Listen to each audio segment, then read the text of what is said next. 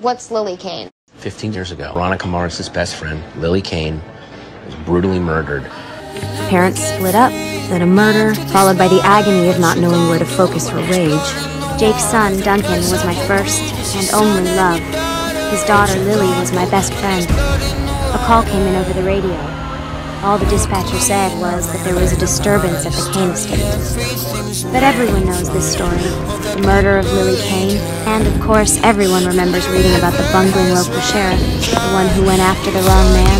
Keith was the sheriff at the time. He bungled the whole thing. Good people of Neptune ran him out of town on a rail. That bungling sheriff was my dad. He turned us both into pariahs. Dad lost his job, and I lost my friends. My best friend was murdered when I was 15.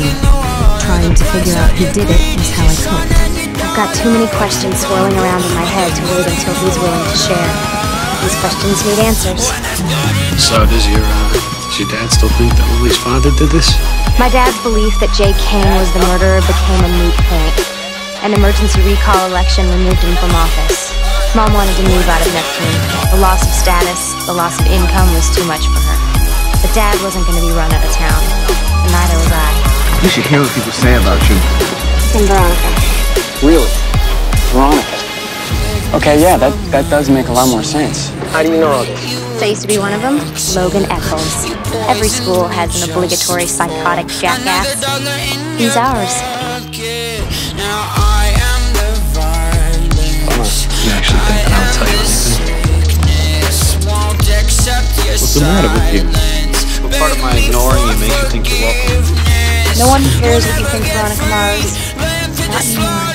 Not since you stabbed all your friends in the back. Oh, uh, I guess what everybody says about you is true too, huh? You think you're this big outside, but push comes to shove, you're still one of them. You still think like one of them. I thought we talked about you hanging out with that girl. I've only heard bad things about the Mars family since we moved here. You used to be all anyone gossiped about. You still are. Just differently. Does it ever bother me what people say? Okay, maybe once in a while. Depends who's listening. I don't see how you do it. Do what? Deal. The way people talk about you. Does it bother you, the things they say? No. Here's what you do. You get tough. Logan told me you've been carrying on your own investigation of Lily's murder. Do You really believe Lily's murder was some sort of vast conspiracy? You have files of everyone on your computer. Is there a file on me? File on Duncan? There's a file on everyone who is connected. There's a file on everyone. Who the hell do you think you are?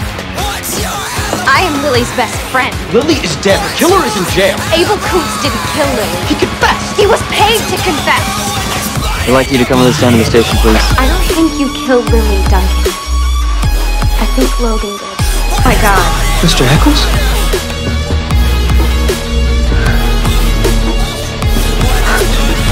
got a secret.